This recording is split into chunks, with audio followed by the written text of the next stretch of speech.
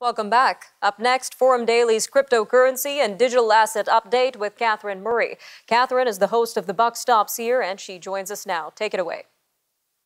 Thanks, Dima. Hello, everyone, and welcome to your cryptocurrency and digital asset update. I am Catherine Murray. Well, what a week it has been in digital assets. Last week, when we, of course, learned that Russia was invading Ukraine, we saw crypto assets decline in lockstep with the equity markets or any type of risk asset class. But it's been a change of tone in the digital asset over the past week.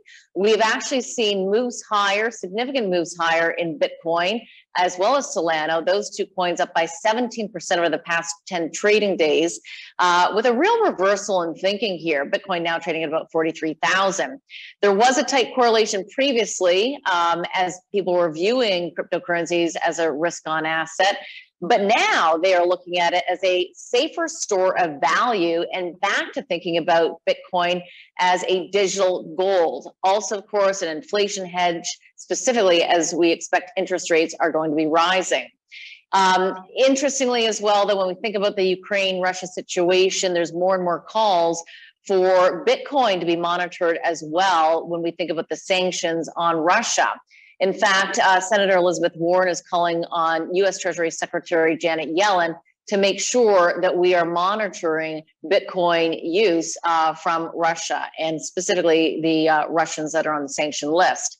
We're also hearing that uh, the New York Department of uh, Financial Services is planning to increase their transaction monitoring of crypto use, crypto businesses specifically, and beefing up their sanctions against Russia they're going to be using uh, blockchain technology to try to determine if this is in fact happening.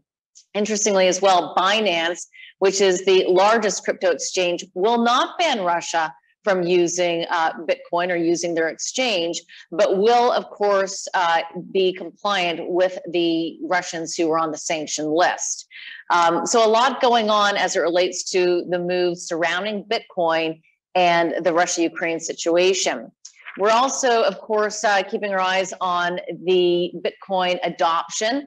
Uh, interestingly, here, Charles Schwab has filed an SEC, uh, filed with the SEC to launch an ETF to give their clients exposure, anybody who would buy this ETF, um, give them exposure to companies that either use or have some type of use of uh, cryptocurrencies or blockchain. What's interesting to me about this, if you are a an all-in crypto uh, investor, you believe that every company will have some type of exposure to crypto. Just think back to the internet days where a lot of companies will say, oh, yes, we use the internet. And then there were the non internet companies. The real crypto believers believe uh, that everybody will. And it's interesting that Charles Schwab is creating an ETF uh, that will embody companies that use uh, some type of service of cryptocurrencies. And I believe that they're calling it a Schwab Crypto Economy Index. Um, in addition to that, we're just keeping our eyes on the use of Bitcoin in the Ukraine and Russia situation. And on a positive note, which I'll end it on, um, so far I understand that you, the, that Ukraine has received $35 million in donations in crypto. That is according to Elliptic. Nima, I'll leave it there. Back to you. Always good to end on a positive note. Thanks for that, Catherine.